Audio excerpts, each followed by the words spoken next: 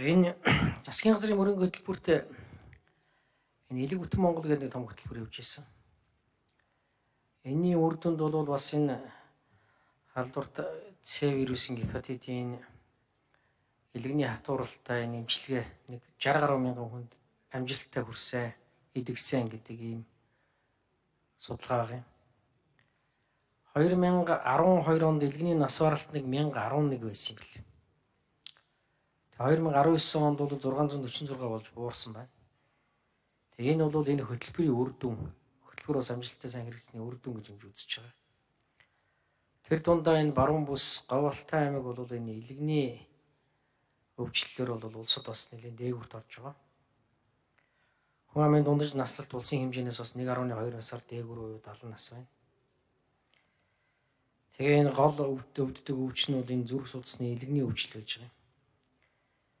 Тэгээ энэ элэг бүтэн Монголын хөтөлбөрийг цааш нь одоо үргэлжлүүлж явуулах гэж байгаа юу, болох гэж байгаа юу? Энэ ямар хөө шатанд байна нэгдүгээрт эрүүл мэндийн сайдаас асууя. Хоёрдугаарт нийгмийн эрүүл мэндийн асуудлаар одоо бид нар нэг өдийн цай хөтөлбөрийг өдийн хоол хөтөлбөр болгосон. Энэ өдийн хоол хөтөлбөр маань цаашаа ямар хөө байдлаар явах гэж байна? энэний бэлтгэл ажлууд хангагдаж байгаа юу? Энэ хуулийн хэрэгжилтгэр хангагдаж байгаа вэ? За хүүхдүүдтэй холбоотой асуудлаар бас бид нар одоо энэ нөгөө нэг цөм хөтөлбөр хөтөлбөр гэдэг юм яриад байдаг байсан. Энэ цөм хөтөлбөрийг бол бас Монгол тохирохгүй байна гэж олон эцэгчүүд ярьж бас олон удаа би бас энийг асуудлыг дэвшүүлж ийсэн. Монгол хүн эхлээд Монгол хүн Монгол хүүхэд эхлээд Монгол хүн болох хэвээр. Дараа нь тэр дэлхийн боловсролыг эзэмших хэвээр цэцэрлэгээс нь ахуулаад энэ одоо гадаад хэлний суур улсрал тавьчихаар наадах чинь хэл дагаж сэтгэлгээ яваад байна. Энийг одоо цааш нь яаж шийдэх гэж байгаа вэ гэж юмж асууж ирсэн. Энэ талаар нь хариулт өгөх гэж. За 95 дугаар микрофон дээр мөксөхан сайд хариулъя. За гишүүний асуултанд хариулъя. Тэгэхээр элэг бүтэн Монгол хөтөлбөр маань маш үр дүнтэй, зөв зөвтэй ийм хөтөлбөр байсан энэ хөтөлбөр маань цаашдаа үргэлжлээд хэрэгжээд явна. Ирэх оны төсөвт бас энэ элэг бүтэн Монгол зарцуулагдах төсөв маань тавигдаад явж байгаа. За баярлалаа. За нэгдүгээр эндрийн микрофон яг үгээ.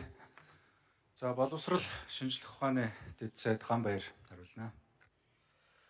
За энэ хамгааллын гишүүний асуултанд хариулъя.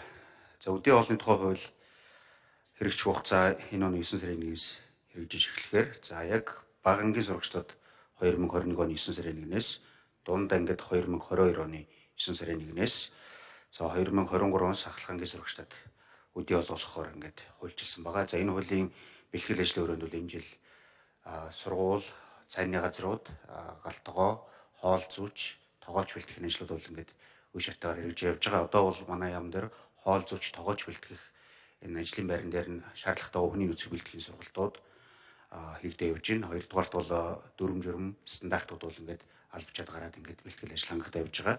Хамгийн хүндрэлтэйс бол тоног төхөөрөмж энэ цайны газар галтгооны тоног төхөөрөмж засварын асуудал нэлээд төсөвтөр хүндрэл үүсэх ийм эрсдэл харагдаж байгаамаа.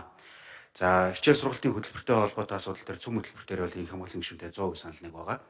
За засгийн газрын 2021-с 25 оны үйл ажиллагааны хөтөлбөрт энэ ерхий боловсролын сургуулийн хөтөлбөрт тэр Монгол хүүхдийг Монгол хүн болж төлөвшүүлэх уламжлал зан заншил их оронч нөөцлөг төлөвшүүлэх чиглэлээр тодорхой ажлууд төлөвлөгдсөн. Тэрэн дээр бас төсөв мөнгө тусгагдж байгаа. Өмнө бол ерөөсөө хоосон лозунгийн шин чанартай явдаг ус учраас тодорхой ажил болдгоо байсан.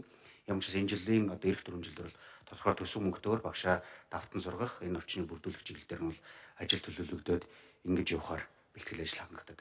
Одоо үйл ажиллагаа батлагдахаар тодорхой шийдвэрүүд гараад ингээд үйл ажиллагаа хэв явна гэж бид харж байгаа. За За Батсуур гүшүүн алга байна.